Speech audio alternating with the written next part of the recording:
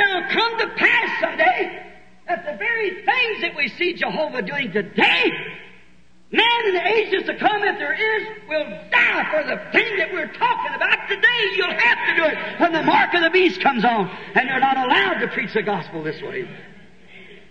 When the great union of churches comes together, which is in order right now for the world church, you'll have to seal your testimony with your own life to this. You must believe it now.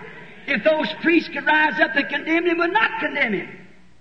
But you say, if I'd have been there, I would have done so and so.